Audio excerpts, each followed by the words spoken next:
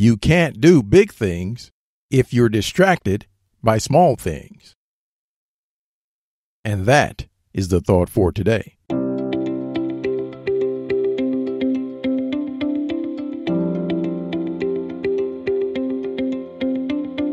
Welcome to 7 Good Minutes. I'm Clyde Lee Dennis. Thanks for joining me for what I believe will be seven of the most enriching minutes of your day. In today's audio, we get some great tips on eliminating distractions so you can regain the focus you need in your life. Enjoy. One thing that I've been talking about a little bit, and I'm going to start talking more about, is filtering out distracting information, useless information, filtering out distracting people, dramatic people from your life. So, the statistic that shows the importance of this uh, is that we now, today, the average person spends 40% of their time filtering through information. Okay, so filtering through distractions. That is a significant portion of your time. So let's say you're working for eight hours, right?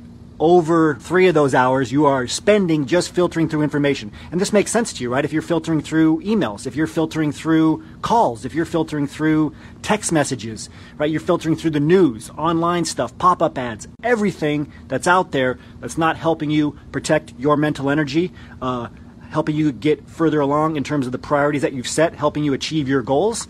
Then it is distracting information and you have to spend time filtering through it.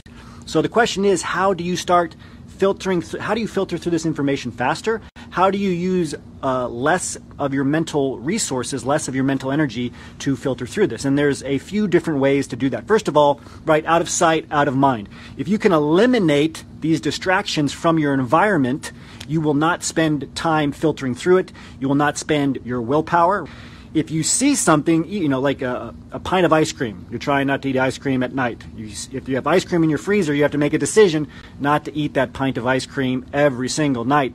That is difficult to do, and even if it's not difficult, it's going to make future things more difficult because you just used up one of your decisions.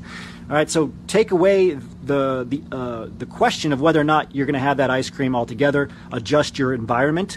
It means that you won't have to filter through that information. Uh, a more uh, even more practical example online, right? You can use certain websites to block other websites.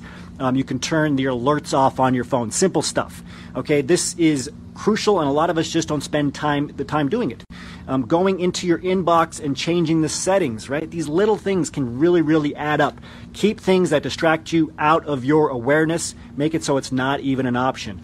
What else can you do? Automate as many things as possible, right? Whatever, whatever that means. Some of the things we've already talked about. You can automate you know emails going into certain boxes being filtered out deleting you can unsubscribe you can use all these different apps now uh, you can block certain sites automate things the best of your ability. Don't go down a rabbit hole, right? All of us have a friend that has a phone with 117 different apps on their phone, right? And then they have to navigate through 117 apps to find like the three apps they use the most.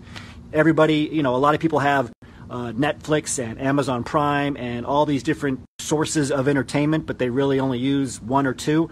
And you just have to do an audit of your life of everything that's clogging it because you're just filtering through more and more information. And this should be something you do on a on a bi-monthly basis a lot more frequently than you're likely doing it okay because now in today's world you should be protecting your mental energy you should be uh, protecting the energy you have to spend on distractions it means blocking things, right? Clearing your environment frequently, setting up automated uh, filters, uh, automating your calendar, creating good habits, right? Part of automation is automating your own brain. So you get used to waking up at the same time and doing the most important things in the first three hours of the day, having a morning routine, that matters. And then finally, outsourcing. You know, get somebody else, another human to do it. Automating means you're getting, you know, machines to do it, tools, AI, etc. Outsourcing means you're getting another human being to do it, and this is easier to do than ever. And I, I think, you know, whether you're working at a company and there's somebody else who has a lot of strengths that maybe aren't your strengths, or somebody else who really likes to do something you don't like, start finding those people. Start digging in to see what, what you can do. Maybe you can trade certain tasks uh, with somebody uh, at your office. Maybe you can get seated next to somebody who doesn't distract you and, and cause drama all the time right? So start thinking in terms of making your life easier and spending less time filtering. All right, so clear your environment, automate, outsource, and protect blocks of time where your mental energy is peaking. This will help you spend less time filtering through information and more time executing and achieving your goals. That does it for today's episode of 7 Good Minutes. Please take a moment to rate and review the show on Apple Podcasts. If you have questions, you can ask those by going to 7goodminutes.com slash ask Clyde or get me on Twitter at Clyde Lee Dennis.